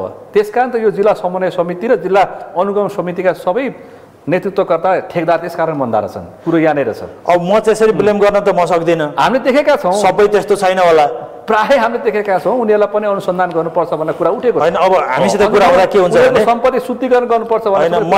मैले उहाँहरूको पनि समस्या सुनेको छु जस्तो। जिल्ला समन्वय। समिति जिल्ला प्रमुखसँग पनि चलखेल हजुर भनौँ न। त्यहाँ चाहिँ ढुङ्गागिटी बालुवा उठाउन चाहिँ तपाईँ भने एकजना इन्जिनियरलाई एक्जाभेटरले कुचेर मारिदियो अनि एकजना अभियन्तालाई अब। एकजना समन्वय समितिको प्रमुख गएर पनि त्यस्तै हालत हुनसक्छ एक खालको डर छ त्यस कारण हामीले यो व्यवसायहरूको बिचमा पनि व्यवसाय बिचमा पनि दादागिरी चाहिँ छ त्यो व्यवसाय व्यवसाय बिचको दादागिरी चाहिँ बन्द हुनुपर्छ। होइन? त्यसले गर्दा इमान्दारहरूलाई मर्का परेको छ सीतारामजीलाई मर्का परेको छ। नेपालजी तपाईँहरू व्यवसाय हो कि दादागिरी गर्ने डर हो? यस्तो सर के हो? जस्तै चुरेकै डाक्टर साहबले जुन डक्टरले भन्नुभयो नि त प्रश्नै भन्नुभयो। सभापतिज्यूले जुन कुरा भन्नुभयो सभापतिज्यूले जुन समृद्धिको बारेमा यो मुलुकमा प्लानिङै छैन। हामी यहाँनिर क्लियर हुनु पर्यो हामीलाई चाहिएको समृद्धि। म उद्योग व्यवसाय भए पनि समृद्धि चाहियो। आम नागरिकलाई पनि समृद्धि चाहियो। कर्मचारीलाई पनि समृद्धि चाहियो। राजनीतिक दललाई पनि समृद्धि चाहियो। समृद्धिको नाममा प्राकृतिक स्रोत अघि डाक्टर साहबले भने जस्तै प्राकृतिक स्रोत चाहिँ नि हामीले सञ्चालन गर्ने नै हो। त्यो विधि प्राकृतिक स्रोत मानव जीवनको लागि नै प्रयोग गर्ने हो। माने? अब त्यसको विधि सरकारले बनाउने हो। सरकारको त्यहाँ संयन्त्र छ। त्यो संयन्त्रको ध्यान किन पुगेन? संयन्त्रको ध्यान नपुगेर चाहिँ निजी क्षेत्रलाई अर्कालाई दोष लगाउनु भन्दाखेरि त्यो संयन्त्रलाई सक्रिय बनाउने किसिमको नीति बनाउनु पर्यो। आज छरपष्ट रूपमा स्वास्थ्यको क्षेत्र छरपष्ट छ कर्मचारी छरपष्ट छ। हामी त्यही कुरो यहाँ गर्दैछौँ। व्यस्त अवस्थामा एउटा म जाँदैछु। सर कुनै पनि चिज। कुनै पनि? चिजको मेल खानुपर्छ। म समृद्धिको पक्षमा हो मेरा व्यवसाय समृद्धिको पक्षमा हो आज मेरा व्यवसायले कानुनसम्म दर्ता भएका उद्योग नवीकरण नभएर मेरो म राज्यलाई तिर्नुपर्ने पैसा तिर्छु मेरो उद्योग नवीकरण गरिदियो भने म हार गुहार गरेर आज म सडकमा गइरहेको छु मेरा तमाम व्यवसायहरू सडकमा छन् भने अब मलाई गुन्डा गरिदिएको आरोप लगाउँदाखेरि कति ठिक हुन्छ त्यसपछि मान्छे मर्छन् त? अभियन्ता पनि मर्छन् इन्जिनियर- पनि मर्छन् किन मर्छन् न सर। अभियान त के गरी मरे त्यसको जिम्मा मैले लिने भने त्यसको हाम्रो कारणले होइन होइन होइन हाम्रो? होइन होइन हाम्रो कारणले होइन तपाईँले एउटा कुरो के के क्लियर हुनु बन्नुहोस् भन्नु होला भने। हामीले खोलामा गएर उत्खनन गर्ने इजाजतै छैन कि हामीलाई। हामी तेस्रो पक्षबाट सामान जब तेस्रो पक्षबाट हामी सामान किन्दैछौँ भनेपछि हामीलाई त्यो दोष किन ल्याएर हालिन्छ कि? हामी यहाँनिर यहाँनिर तपाईँले क्लियर गर्नु पर्यो। कन्फ्युज भयौँ। हजुर। तपाईँको भनाइको यसरी बुझ्नु पर्यो कि तपाईँले सिधै खोलाबाट उठाउने होइन। कहिले उठाउँदैनौँ? हामीले खोलाबाट कहिले पनि उठाउँदैनौँ।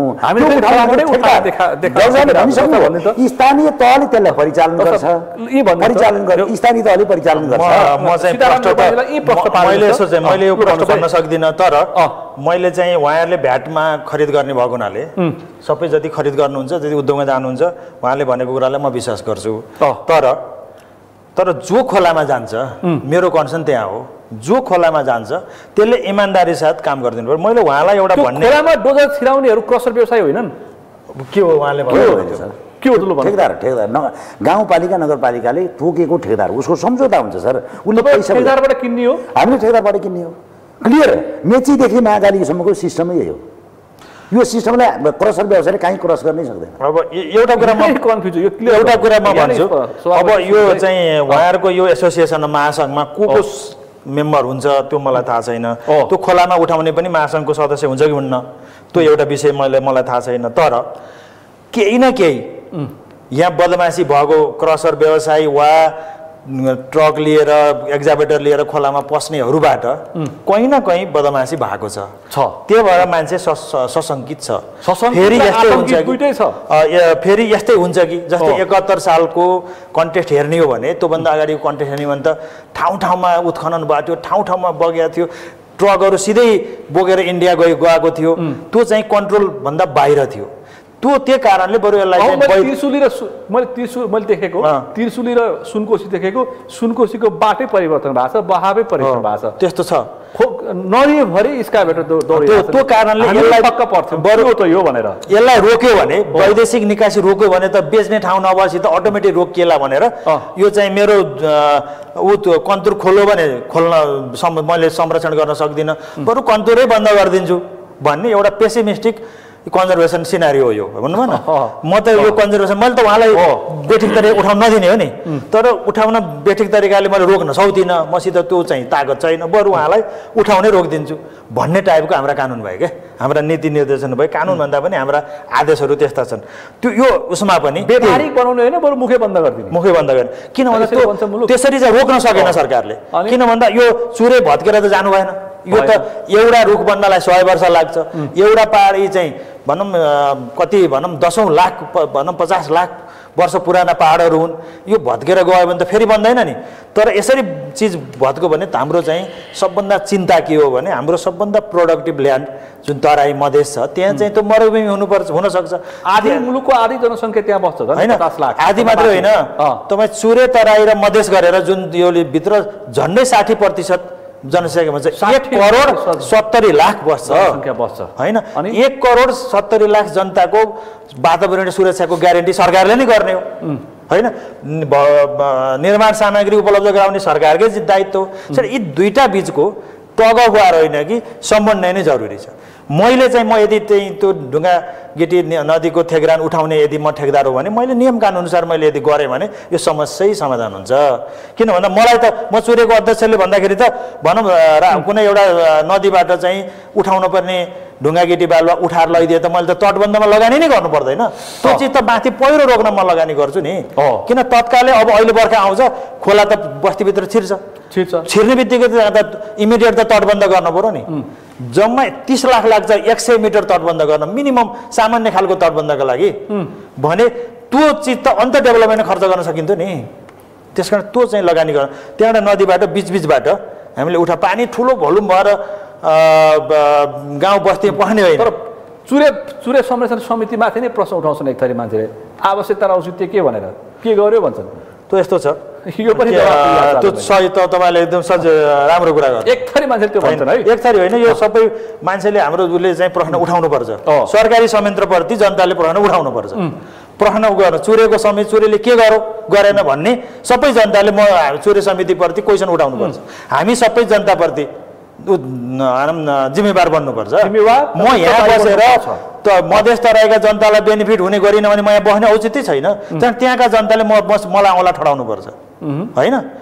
उहाँले चाहिँ ढुङ्गा गिटी बाला उठाएर उद्योग सञ्चालन गर्दा त्यो ठाउँ हानि नोक्सानी भयो भने ती जनताले उहाँप्रति औँला ठडाउनु पर्छ। हो उहाँहरू पनि मुलुकको नागरिक हो। जनताको मत लिएर। जनताको मत लिएर आएर जनतालाई सहयोग गर्छु भन्ने नाममा आउनु भएको छ माननीयहरू। जनताको पक्षमा काम गर्नु भने उहाँलाई नै औँला ठडाउनु पर्यो। तर हामी एकले अर्कालाई नै औँला ठडाउनु पर्छ म त्यो भन्छु। हो। किन भन्दा हामी सबै अन्तिममा त जनताप्रति नै जिम्मेवार बन्ने हो नि।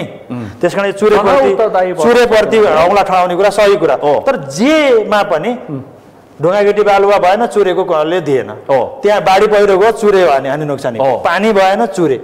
सबै यो पानासिया जस्तो बनाउनु भएन क्या कहाँ हो समस्या? सूर्यभित्र त ढुङ्गागिटी बालुवा उठाउनै दिएन सूर्यभित्र बाहिर हो नि। केही छैन। त्यहाँ दिएकै छैन। बाहिर हो नि समस्या। अनि बाहिरको समस्या नै चुरेले हेर्ने। हामी चाहिँ पानीको समस्या भनेको छौँ। पानी चाहिँ अब फेरि त्यहाँ हेर चुरे दोहन भएका कारणले मात्रै त्यहाँ बाढी पहिरो आएको होइन। हामीले मध्य पहाड क्षेत्र हेरौँ त। तपाईँ प्लेनबाट हेर्नुहोस् गाडीबाट हिँड्नुहोस्। डाँडा काँडा खनेर ध्वस्तै दोस्तै छ।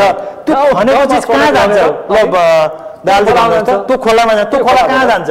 चुरे हुँदै मधेसमा जान्छ नि। जान्छ त्यही सबै अनि अब चुरे दोहन भनेको छ त्यो माथि खनेको त हामीले भनेकै छैनौँ। त्यो सिन्धुपाल्चोक खनेको सिन्धुपाल्चोकको अब भनौँ सुनकोसी त कोसीमा जाला ठुलो नदीमा। हो। साना साना खोला त त्यही हुँदै त्यही हरेक ठाउँबाट मधेस पस्छ नि। त्यसले चुरे मात्रै होइन संरक्षण हामी त्योभन्दा माथि पनि जरुरी छ। हाम्रा भौतिक पूर्वाधारका कामले। हानि नोक्सानी गर्नु भने म बाटो बनाउँछु भने त्यो बाटो खन्दाखेरि निक्लेको माटोलाई त छेउमा रोक्नु पर्यो नि। त्यो चाहिँ अथाह तरिकाले खोला फालिदिएपछि त बाढी पहिरो त ल्याउँछ ल्याउँछ नि। त्यसकारण यो संरक्षण खालि चुरेमा मात्रै यो संरक्षण त्योभन्दा माथि हुनुपर्छ। त्योभन्दा माथि पनि हुनुपर्छ। पर्छ, महाभारतमा पनि पर्छ। हुनुपर्छ। हिमाली रेन्जमा पनि। चुरेमा नि हुनु तपाईँ हेर्नुहोस् ल वनकै कुरा गर्ने हो भने नि चुरे संरक्षण वन त चुरेमा त चुरेको कोर एरियामा त वन क्षेत्र बढेको छ हेर्नुहोस्। अहिले छत्तर प्रतिशत वन क्षेत्र छ। हिजो धेरै कम थियो। पपुलेसन पनि बढेको छ।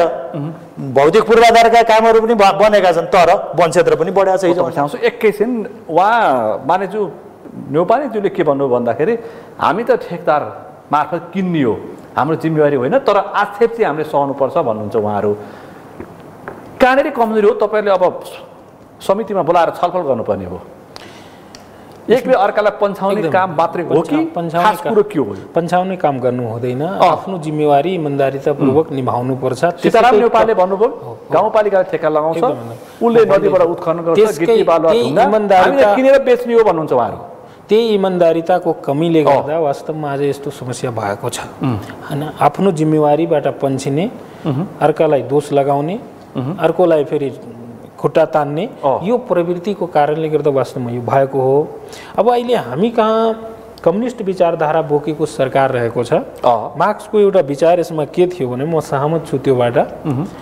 के भन्नुभयो उहाँले? यदि साधनलाई प्राप्त गर्नु छ भने लक्ष्यलाई हासिल गर्नु छ भने साध्य जस्तो सुकै भए पनि त्यसलाई प्रयोग गर्नुपर्छ। हाम्रो जस्तो विकास उन्मुख देश जहाँ अहिले विकास हो हामी गति लिइरहेछौँ जहाँ विभिन्न किसिमका छाडा प्रवृत्तिहरू छन् जहाँ अनुशासनहीनता छ आफ्नो जिम्मेवारीप्रति बोध छैन यस्तो देशमा हामीले क्रूरता अपनाउनै पर्छ राज्य क्रूर हुनै पर्छ। यदि देश विकास गर्नु छ भने। भने सर्वप्रथम मुलुक बनाउन अलिकति निर्मम पनि निर्मम पर्छ। हुनुपर्छ। राज्य निर्मम हुनुपर्छ। त्यसको निम्ति के गर्नुपर्छ भने म आफै हेरेको कुरा। म तपाईँले भन्दैछु होइन? नदीमा पानी पर्ने बेलामा त्यहाँका इस्काबेटरहरूले त्यो दौड़े जाने जहाँ पाए ती खन्ने ढुक्का कहाँ लाग्ने त्यो टिप्परहरू त्यहीँ राखिराख्ने लाग्ने पानी बंद भएपछि सबै भागेर जाने यस्तो चोरी गर्ने जुन प्रवृत्ति छ यस्तो ऐन कानुनहरू बना पर्छ ताकि यस्ता अहिले त गृहमन्त्री रवि लामी छाने हुन्छ हो म हेर्नु पर्ने। बुझेको मान्छे। त्यही भएर व्यवसाय यस्तो प्रकारको ऐन बनाउनु प्रशासन पनि बुझेको यदि। पटक पटक ताकेदा गर्दाखेरि। करसर व्यवसायीहरूले त्यस्ता गलत क्रियाकलाप गर्छन् भने उहाँको लाइसेन्स समेत खारिज गर्ने कानुन बनाउनु पर्छ एउटा कुरा भनेपछि यो अहिलेको बनिरहेको कानुनमा निर्माण एकदम टाइट हुनुपर्छ कानुन एकदम टाइट एकदमै। एकदम बलियो कानुन बन्नु पर्यो बलियो कानुन बन्नुपर्छ देश विकास हुने। कानुन र त्यहाँ छाडा प्रवृत्ति नहुने खालको कानुन बन्नुपर्छ टाइट छलफल हुनु पर्यो एउटा। म लिएर आउँछु अर्को कुरा के छ भने अहिले अनुगमनको जुन पाटो रहेको छ। होइन विभिन्न सरकार तिनै तहको सरकारले तिन किसिमले अनुगमन गर्ने र अनुगमनको नाममा विभिन्न व्यतिथिहरू पनि अपनाउने डाक्टर पौडेलले भन्नुभयो जिल्ला समन्वय समिति र अनुगमन समिति अनुगमन। चासो राख्नुपर्छ भन्ने अहिले अनुगमन समिति छुट्टै बनाएको छ। त्यहाँ अर्को समन्वय समिति छुट्टै रहेछ? फलानु समिति छुट्टै छ। यति धेरै समितिहरू भइसके हाम्रो देशमा कि कसले के काम गर्ने क्यास पैसा आउँछ त्यहाँ समिति। कसले के काम गर्ने त्यो पनि थाहा छैन। हेर्नुहोस्। र अनुगमन समितिहरूले अनुगमनको नाममा मिडियाहरूलाई लग्ने। हो। सँगै लिएर जाने। र तपाईँहरू मिडिया कर्मीहरूले पनि ठुला क्यामेराहरू। यस्तै तेर्साइदिने। हो। उद्योगी व्यवसायहरूलाई। जबसम्म मिल्दैन तबसम्म त्यो क्यामेरा हाट्दैन। र एउटा न्युज बनाएर एउटा न्युज बनाएपछि। जबसम्म आउँदैन। तबसम्म त्यो न्युजलाई राखिराख्ने तर्साउनको निम्ति होइन? हो। पिरालो बाँधेर कुद्ने जस्तो देखाउने। त्यस्तो हुन्छ। होइन? यस्तो गर्छन् मिडियाले दबाफ दिनु पर्छ तपाईँले हामी कहीँ जानु पर्दैन सर। भनेको मतलब छ यही समस्या। यहीँ छ समस्या। भनेको मतलब यहाँ राज्य संयन्त्र जुन छ एकदम निर्मम हुनु पर्यो। लचकदार कानुन बनाउनु पर्यो निर्मम पनि हुनु पर्यो। दोस्रो कुरा यो अनुगमन समितिहरू कति छन् यिनलाई नियमन गर्नु। अनुगमन समितिलाई पनि नियमन गर्नु पर्यो। एकदम नियमन गर्नु पर्यो। तेस्रो कुरा यहाँ संरक्षण समितिहरू पनि अत्याधिक छन् जस्तो अहिले उहाँ डाक्टर साहबले भन्नुभयो चुरेको कुरा। चुरेमा बस्ती बढी नै रहेको छ। चुरे बर्बाद भइ नै रहेको छ। अब निष्कर्षमा। उहाँले के भन्नुभयो भने त्यहाँ वन क्षेत्र बढिरहेको कसरी त्यो। प्र्याक्टिकलमा त्यो छ कि छैन? वन क्षेत्र बढेको छ र। झन् चुरे चुरे त आज बस्ती भएर त्यहाँ त चुरे बर्बाद भइरहेको छ। भने त्यो समिति वास्तवमा के गरिरहेको छ? अरबौँको बजेट जान्छ करोडौँको बजेट जान्छ। त्यो चुरेमा अहिलेसम्म करोड वृक्षारोपण पनि भएको छैन होला। होइन? वर्षौँ वर्ष त्यहाँ करोडौँ रुपियाँ जान्छ तर एक करोड वृक्षारोपण गरेको विकास समिति के गर्दैछ? भने यो विकास समितिको नाममा पनि। देशमा चाहिँ एकदम भइरहेछ। दोहन दोहन होइन त्यो भाषा प्रयोग गर्नु कि नगर्नु नै नै नै, त्यो त्यस्तो त म भन्दैन तर त्यो चु संरक्षणको नाममा बेतिथि पक्कै भइरहेको छ। सभापति यो यो समस्या क्रसर र खानेको समस्या कसरी सुल्झाउने एक लाइनमा भन्नुहोस् त म अन्तिममा छु। कर्सा र खानीको समस्या सुल्झाउनको निम्ति सङ्घ सरकारले दिगो कानुन बनाइदिनुपर्छ। दिगो कानुन दिगो पर्यो? एकदम। अलिकति भविष्यलाई सोचेर कम्तीमा बिस वर्षसम्म यो कानुन काम गरोस्। भने त्यो सोचका साथ ऐन कानुनहरू बनाएर दिनु पर्यो र त्यो ऐन पनि गरिदिनु पर्यो। हो, गरिदिनुपर्छ एकदम। ऐन कानुन नभएसम्म अरू अगाडि हामी बढ्नै सक्दैनौँ। त्यस पछाडि नियतमा भर पर्छ। त्यसपछि हाम्रो हाम्रो बिहेभियरमा कुरा कारबाही गर्छ। यसो गर्यो भने समस्या सुल्झिन्छ। डाक्टर साहब अन्तिममा म चाहिँ दुई तिनवटा कुरा भन्न भन्नु। पऱ्यो। एउटा चाहिँ माननीयज्यूले यहाँ उठाउनु भयो अर्बको बजेट के हुन्छ चुरे समितिको कुरा चाहिँ अलिकति संरक्षणमा के काम भएको छ भन्ने कुरा छ यो चाहिँ हामीले चुरे यो राष्ट्रपति चुरे तराई मधेस संरक्षण विकास समिति दुई हजार एकहत्तर साल असार दुई गते गठन भयो। र त्यो त्यही दिनै यो चुरे क्षेत्रलाई बाह्र पोइन्ट सात आठ प्रतिशत क्षेत्रलाई चुरे क्षेत्र भनेर घोषणा हाम्रो वातावरण संरक्षण ऐन अन्तर्गत यो संरक्षण क्षेत्र घोषणा भएको छ। त्यहाँभित्र उद्योग धन्दाहरू वातावरणीय हानि नोक्सानी हुने गरी गर्न पाइन्न स्ट्रिक्टली रोकिया छ। त्यो धेरै उद्योगहरू त्यहाँभित्र पनि छैनन्। केही चाहिँ सिमानामा केही समस्या होला धेरै समस्या पनि छैन। तर अब म दुई तिनवटा कुरा छु बजेट। बजेट चाहिँ म छिटो छिटो भन्छु। हामीलाई चाहिँ हामी चुरे संरक्षणका वृहत मास्टर प्लान छ। त्यो मास्टर प्लान दुई हजार चौरात्तर सालमा नेपाल सरकारले एप्रुभ गरेको छ। त्यसलाई चाहिँ दुई खर्ब पचास अर्ब बजेट चाहिन्छ भनेको छ। चुरे संरक्षण गर्नलाई। दुई खर्ब? दुई खर्ब पचास अर्ब बिस। वर्षका लागि। लगभग चौरात्तरदेखि बिस वर्षका लागि। अहिलेको एकासी बयासीको बजेटमा छ। तपाईँहरू के? सुन्नुहोस् म भन्छु। चौरात्तरदेखि बिस वर्षसम्म चौरानब्बेसम्म। भनौँ तर हरेक वर्ष पन्ध्र सोह्र अर्बदेखि बिस बाइस अर्बसम्म चाहिन्छ। हामीलाई बजेट कति छ? माननीयले त भन्नुभयो कति करोड करोड। जम्मा एकानब्बे करोड पैसा दिएको छ। हामीसित क्षेत्र कति छ? सैँतिस जिल्ला छ। तिन सय पच्चिस पालिका छन् पैँतिस सय वार्ड छन्। यो यो चुरे क्षेत्रभित्र एक सय चौसठीवटा ठुला खोला नदी प्रणाली छ। एउटा नदी प्रणालीभित्र दुई सयभन्दा बढी खहरेहरू छन्। ती हरेक चाहिँ समस्याग्रस्त छन्। त्यस कारण त्यसमा चाहिँ यो बजेट भनेको कनिका छरे जस्तो हो एक। दोस्रो यो यही बजेटभित्र पनि तल चाहिँ तल्लो तटमा चाहिँ धेरै जनसङ्ख्या छ। नेताहरू त्यहीँ हुनुहुन्छ त्यहीँ चाहिँ राजनीति बढी हुन्छ। त्यस कारण यो चाहिँ इमर्जेन्सी रेस्पोन्समा त्यो पैसा खर्च हुन्छ।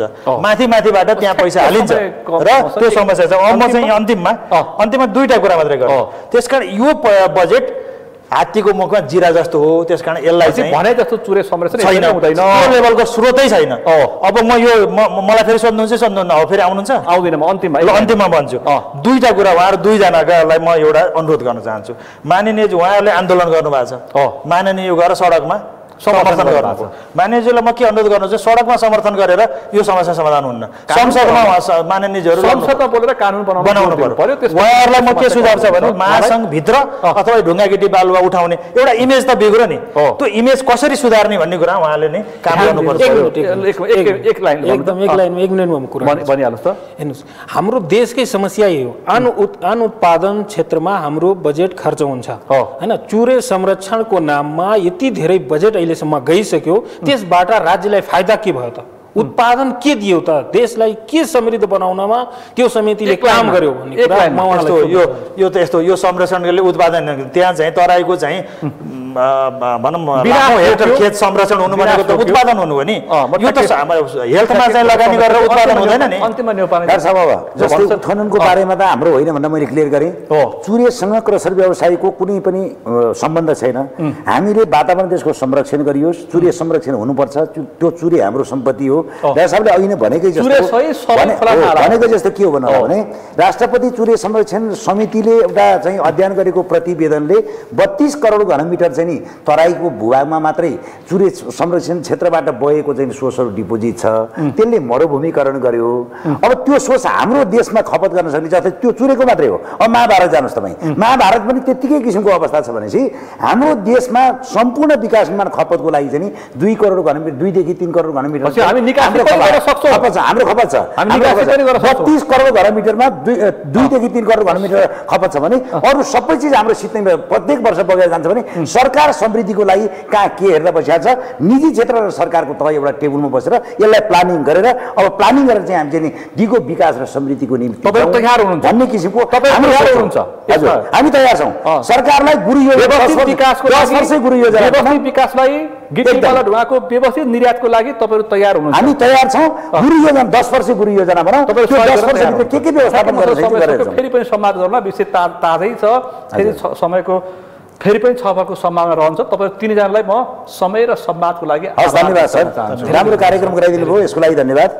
आज हामीले विशेष गरी अहिले जुन खालको विषय उठान भएको छ सडकदेखि सदनसम्म गिटी बालुवा ढुङ्गा नदीजन्य कच्चा पदार्थ र त्योसँगै क्रसर र खाने उद्योग बिचको जुन खालको अहिले आन्दोलन छ र सरकारले के गर्नुपर्छ र यो समस्याको समाधान कसरी खोज्नुपर्छ कानुन कस्तो बन्नुपर्छ? अहिले कानुन बन्ने क्रममा छ कस्तो बन्नुपर्छ भन्ने विषयवस्तुमा केन्द्रित रहेर छलफल गऱ्यौँ। आजको यो छलफलमा मसँग सहभागी हुन्थ्यो उद्योग वाणिज्य तथा श्रम उपभोक्ता समितिका सभापति पूर्व मन्त्री अब्दुल खान। त्यसै गरी राष्ट्रपति चुरे तराई मधेस संरक्षण विकास समितिका अध्यक्ष डाक्टर किरण पौडेल र त्यसै गरी नेपाल क्रसर तथा खाने उद्योग महासङ्घका अध्यक्ष सीताराम नेउपाने आजको विषय प्रसङ्ग यति नै। भोलि अर्को विषय प्रसङ्गका साथ कार्यक्रम प्रश्न समय ल्याउने बाचा गर्दै म सुनिल दाहाल पनि बिदा चाहन्छु। सगरमाथा केन्द्र गर्नुहोला। नमस्कार।